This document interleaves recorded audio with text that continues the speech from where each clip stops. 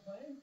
No, just a kind of a calling almost when I got about, you I started up